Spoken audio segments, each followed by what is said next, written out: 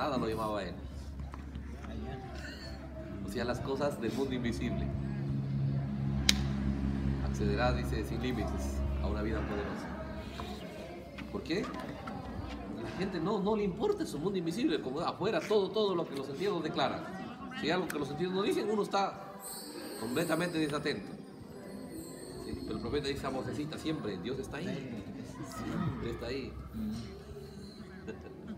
Pues le decía, ¿dónde está tu, resultado de tu éxito? Que siempre yo llevaba un cuadernito en mi bolsillo y un lápiz. Ese ha sido mi éxito.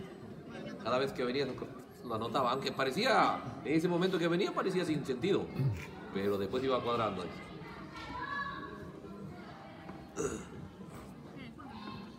Gloria a Dios.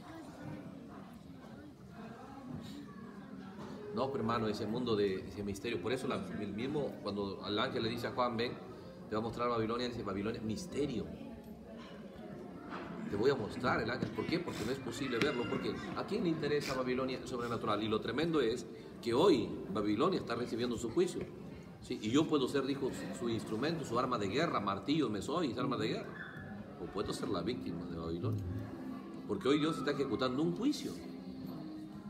Pero este juicio, el que logra entrar, entra por su propio deseo, por su propia voluntad. El que no la quiere, pues entonces pasa al otro, el trono blanco. Y lo glorioso que aquí puedo cambiar, pues, aquí es con misericordia.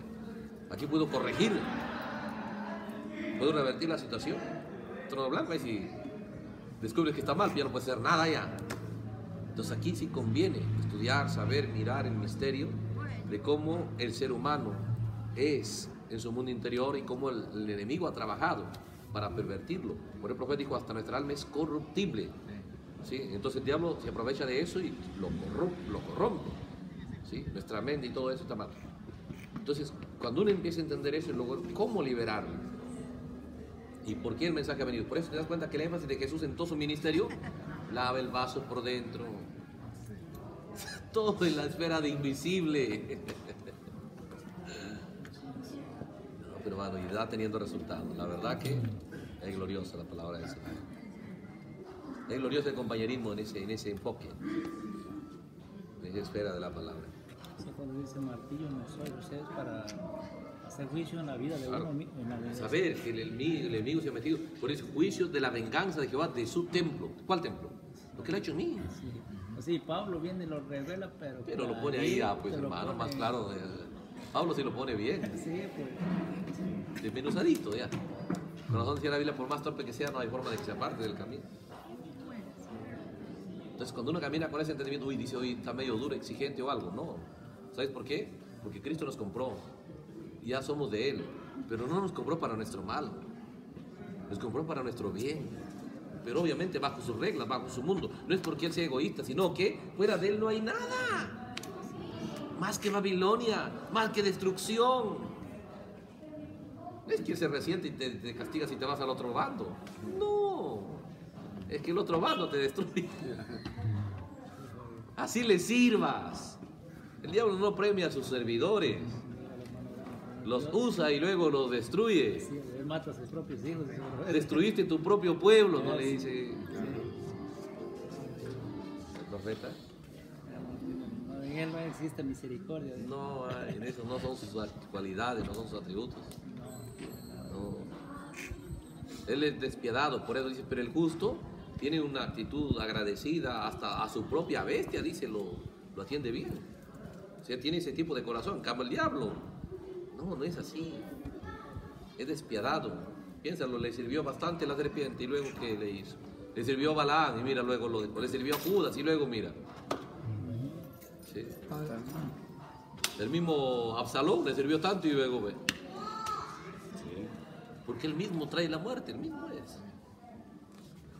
Entonces eso es él. Entonces en este caso es glorioso, por eso que es tremendo, porque cualquier cosa, no, por si acaso yo soy profeta, por eso el profeta dice, cuando tú aceptas que estás comprometido con Cristo y viene el enemigo, solo muéstrale tu, anillo de compromiso, tú sí que le has dado nomás, dice. Y él dice, con ese no me meto. sea, es un beneficio pertenecer a Cristo. Aleluya. Gloria a Dios. hermano, una sugerencia aquí.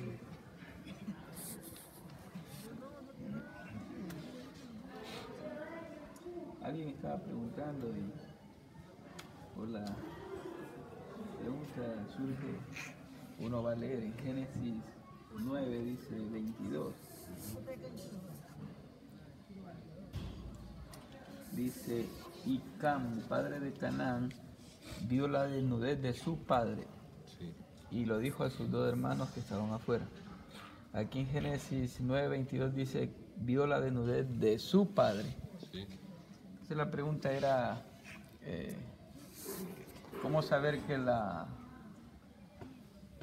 la mujer de Noé no era la madre de, de los tres hijos de Noé? Es fácil. Eh, y, y estuve viendo en Levítico acá, verá, ahora vea, Levítico 18, el verso 6 y 7. ¿Por qué hay en los dos versículos, el 7 y el 8, parece que fuera lo mismo, pero la Biblia no va a escribir por gusto dos versículos? Claro. Mire, en el 7 dice Levítico 18, 7. La desnudez de tu padre o la desnudez de tu madre no descubrirás. Tu madre es. No descubrirás su desnudez. Pero en el 8 dice, la desnudez de la mujer de tu padre no descubrirás. Es la desnudez de tu padre. Claro, son las dos. Ahí hay una diferencia, ¿no? Parece Sí. que fuera lo mismo. Sí. La otra es la desnudez de su madre. ¿No? Está hablando si fuera la madre. Sí. Pero abajo está haciendo una separación. Dice, la desnudez de la mujer de tu padre no descubrirás. Eso es la desnudez del Esa padre. es la desnudez de tu padre. Eso fue lo que pasó en Eso Génesis es lo que 9. dice Génesis. sí. No es el versículo 7. No, no, ¿por qué? Porque tú miras en, el mismo Génesis eh, 7 cómo Dios los separa. En Génesis 7 dice el versículo 12, hubo lluvia sobre la tierra 40 días y 40 noches. En este mismo día entraron, mira, Noé, Sem, Cam y Jafet. O sea, coloca a Noé, le coloca en unidad con sus hijos. Noé, Sem, Cam y Jafet. Hijos de Noé. Y luego dice, la mujer de Noé, y la coloca aparte. Y luego dice, y las tres mujeres de sus hijos. Aparte todo. Si fuera un matrimonio, dijera Noé y su esposa. Si luego vienen sus hijos. Es- Dios respeta el orden. Dios respeta el orden. Pero ¿se da cuenta el orden que coloca? Sí. Por eso en ningún momento dice que era la madre. Los va, los separa, Génesis. Y los separa, ¿sí? Ahí en, en varios versículos. También los separa en el capítulo.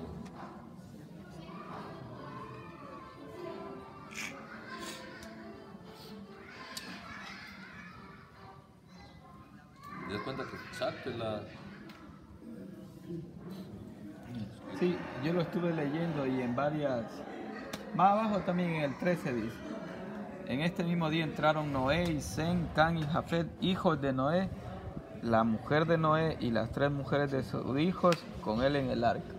Lo mismo que dice en el, Lo mismo. en el anterior y más adelante lo leí también dice de la misma manera. De la misma manera.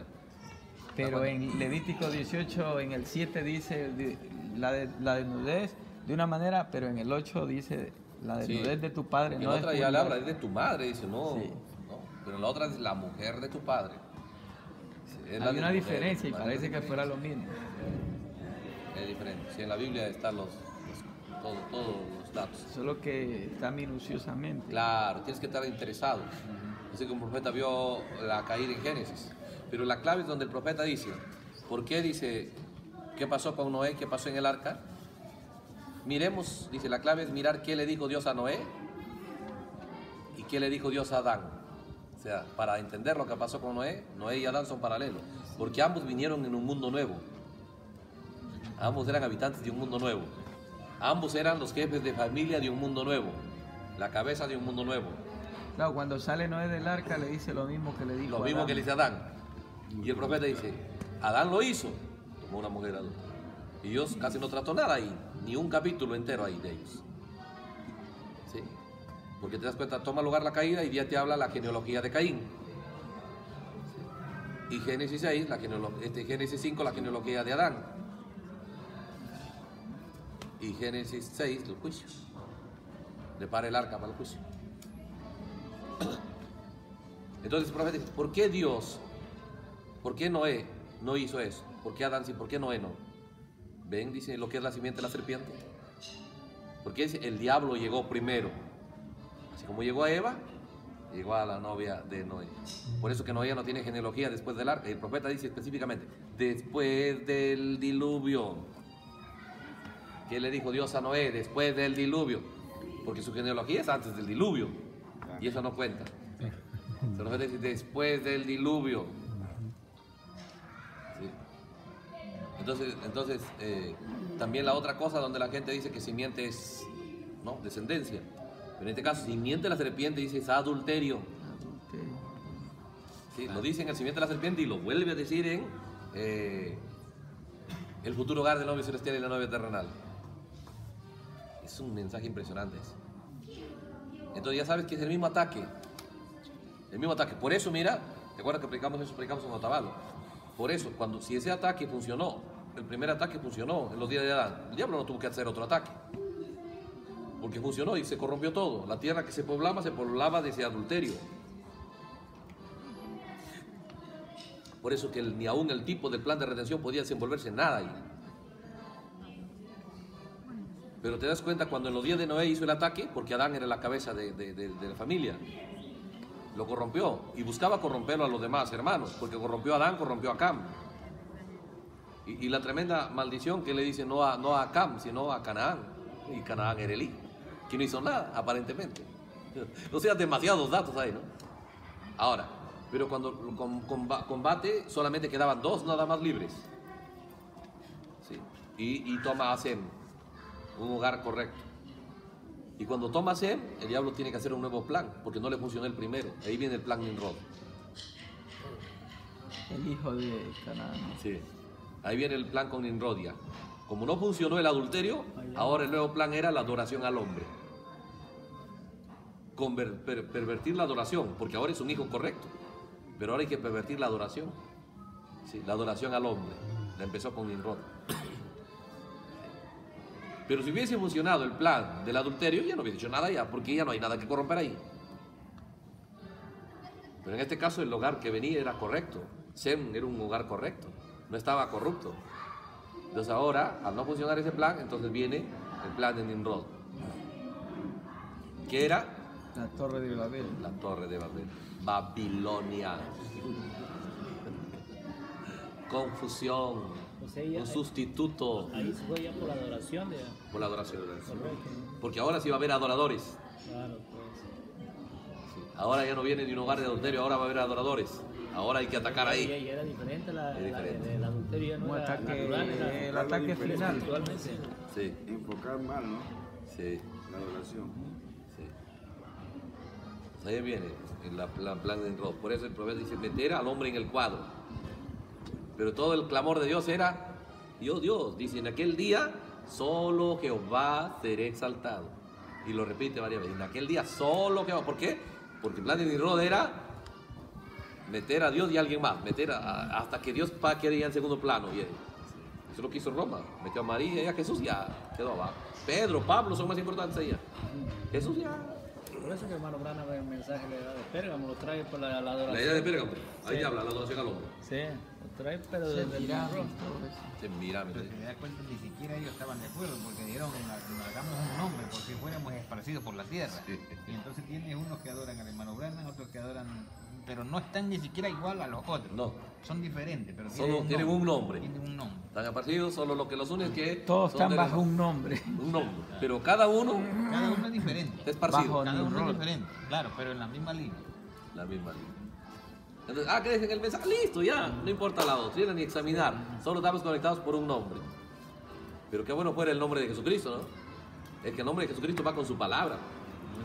Ni el uno ni el otro se entienden. De pronto dicen, eh, no, no creemos de la misma manera la- el no mensaje, entiende, pero lenguaje, no la doctrina del esposo, eso sí, todos Ay, estamos sí. de acuerdo. Sí. El nombre. Un nombre que se hicieron. por si fuéramos esparcidos por la tierra. Oye, y qué, y qué tremendo el diablo usar, usar el hombre de la hora que pasó. ¿Sí? Entonces el profeta es un hombre santo, enviado de Dios. Ponerlo en el cuadro. Tiene que ver con Daniel, Nabucodonosor. ¿Se le hizo la imagen a quién? A Daniel. Daniel. Y Daniel. ¿Y era- sabe quién es el profeta? El reino de Babilonia empezó, dice allá, a la- llegó a la cabeza de oro con la adoración a un hombre santo. Sí. Y el profeta dijo, terminará así. ¿Cuál es el hombre santo del final? El hermano grande. claro, pero eso es lo que dice Apocalipsis, ¿no? Adora a Dios. Yo soy un siervo. Un siervo, hermano de tu hermano. Por eso, hermano, de escapar de la adoración al mensajero, hasta solo Juan escapó. Por, incluso por instrucción de Dios. Y casi Casi se metió en el cuadro. se, se, se dice, se, se Se humilló. claro, Porque dijo, ¿qué No, de- dijo, soy consiervo, se para bien. Soy consiervo tuyo, de tus hermanos los profetas. A Dios adora. Ese Ese golpe, ¿no? tema de la adoración, ¿te das cuenta? Que lo emigró y el profeta dijo, se propuso un nombre, un lugar, una adoración, y lo logró, dice, en el final. Pues. En otras palabras dijo, a, a la palabra dale honra. Sí, eso. Oye, qué tremenda. Hermano, una de las cosas más poderosas que realmente, realmente me hace feliz leer, estudiar y conocer este mensaje, es saber cómo tener un encuentro, una conexión con Dios de una manera directa, y es por su palabra. Porque antes pensaba la palabra de Dios, pero para conectarte con Dios, levanta las manos, siente un calor, siente... Entonces todos los cultos, la predicación, qué bien, qué bien, pero estabas esperando a la hora que dice, ahora sí, vamos a orar, vamos a imponer manos, ahí, estaba toda la expectativa. Voy a decir. ¿Por qué te encuentras con Dios? Acá es su palabra, pero acá te encuentras con Dios.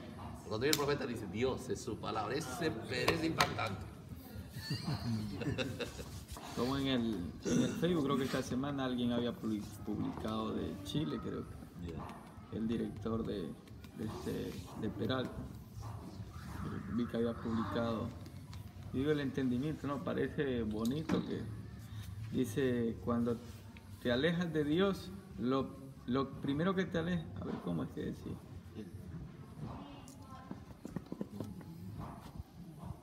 Pero colocaba la palabra en la tercera, en el tercer lugar de alejarse Ah, de Dios. de la oración. Sí, alejas de la sí, nación, de la sí. iglesia, de De la oración de la iglesia. Y de la Bi- y al cuando dejas de leer la Biblia es porque te has alejado de Dios. Pero primero dice, empieza con la oración. Cuando te desconectas Ah, de, sí. lo, de- no, ya cuando dice te desconectas de la iglesia, primer lugar. Cuando te desconectas de la oración, segundo lugar. Y cuando deja de leer la Biblia, entonces usted dice se aleja Ya, lo coloca por dejar, ¿no? Sí. Allá, vamos.